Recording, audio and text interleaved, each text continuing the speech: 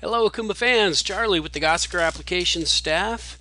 Today we're going to be talking about the soft limits or the barriers in the uh, Okuma turning centers. These are really handy. I had a customer notice that, hey, you know, that when I have to move my turret all the way to a, a stopping point, let's should do it right there, in order to index the tool station. I do that in a program, I do that in manual, it's kind of a pain. Well, it is definitely a safe feature, but you get to set how safe you want to make that, uh, that barrier. Let's just uh, move everybody forward a little bit and you'll notice now when I push the tool index button I get no response. That's because, hey, you're not sitting on one of the soft limits. Depending on the type of the machine that you have, you will may only have to satisfy one soft limit or you may only have to do the x-axis. Just depends on whether or not you've got a subspindle and a y-axis and all these other uh, variations that Okuma has. So what we're going to do here is we are going to tell the machine where is a safe position to index instead of just assuming that the x-axis or the z-axis needs to be all the way at its travel limit.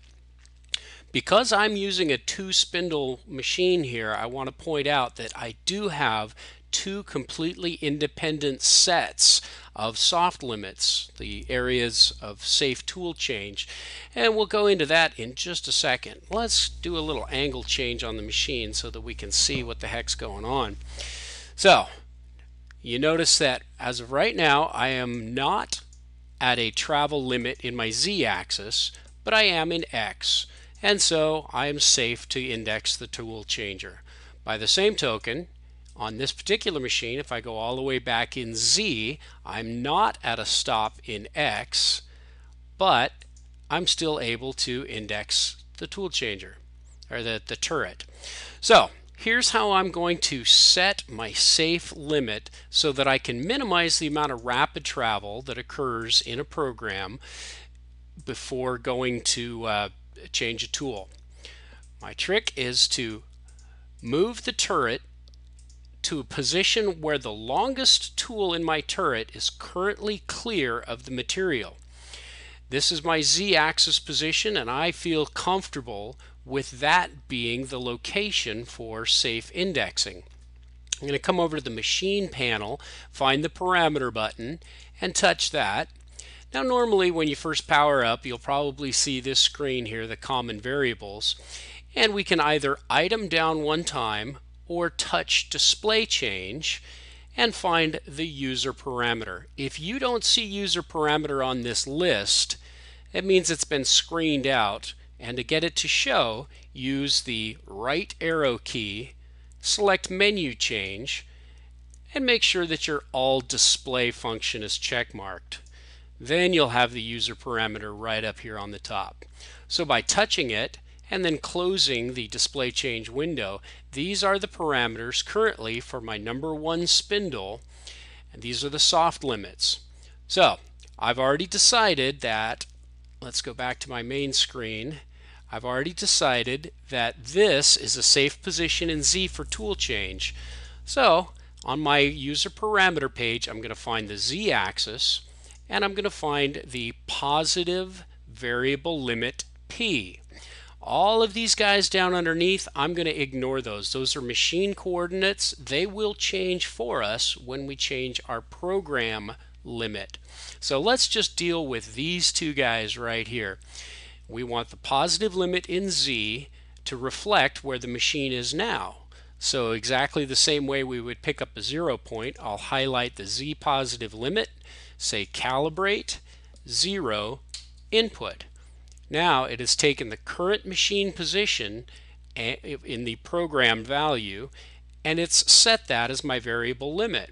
So now if I come back over here, I am not anywhere near an x-axis uh, stop, but I'm safe to change tools. One more, there we go. I can do the same thing for X if I decide I don't need to come up that high. I'll bring it down to its safe position, come over to the parameter page, find the x-axis positive limit, do the same thing, calibrate 0 input. Now if I come back over here you'll notice that now when I command a home move such as G0 X30 Z30 instead of going all the way up here where it would have gone before I monkeyed with the limits now that's it. That's as far as this machine's going to go. Right there. And I'm safe to change to index from tool to tool without any problem at all whether it's manual or in a program. Now the downside of this is that if I have to utilize my presetter, obviously when that thing swings down, it's probably going to be all the way out here. I'm not able to touch a tool. So I'll have to open those back up in order to use the tool setter. I'm going to show you how to do that in just a second, but one thing I do want to show you before we move on is that we're at the stop right now for spindle number one. If I select spindle number two, if you happen to have a subspindle machine, now we're wide open. And the parameter page is now showing us the number two spindle with its own set of parameters. So I can repeat the process for each spindle and thereby have the, uh, have the soft limits set independently for left spindle and right spindle. So now here comes the problem. How do I reset this if I've clamped this very as far down as I have. If you have a subspindle machine, it's fairly simple. The strategy being I want to move the turret to where I want to call a safe limit and set that parameter. However, I can't move because I'm up against the soft limit. Oh geez, if you have a subspindle machine, that's a fairly simple solution. I'll just switch over into spindle number two, and now I could move myself up and around, position the turret where I felt I was safe, and repeat the process. Make sure I switch back over to spindle one, parameter, calibrate zero in X, calibrate zero in Z, and now I have removed those soft limit barriers that you saw just a moment ago. What do I do if I don't have a subspindle machine? I'm going to go back to where I was, having the tool right off the face of the part. Oops, not set. Calibrate zero. Don't make that mistake. Calibrate zero. So now once again, I have restricted my axis motion, but I need to open that up in order to use my presetter or because the job is finished, I'm done, I want to set it back to machine standard so that I can move on. Again, to repeat the problem, I in the previous function moved the turret to where I wanted it to be and taught that position to the machine. Well, now I'm unable to move the turret to that position simply because, hey, I'm already up against the soft limits. So here's my favorite trick. Going back to the parameter page, if I select my x-axis, I want to open it up to the largest number available to me. So my trick is to highlight the X and I'm going to add something preposterous like 50 inches. And in doing so, the machine throws up an error saying, hey, your soft limit is well beyond the maximum travel of the machine. And by the way, just so you know, there's the maximum travel of the machine. Haha, 18.503. That's exactly what I needed. So now I can just set that to 18.503. And now my travel is wide open. Same thing for the z-axis. I'm going to add 50 inches to it get the alarm that says 36.299. Fine, set 36.299.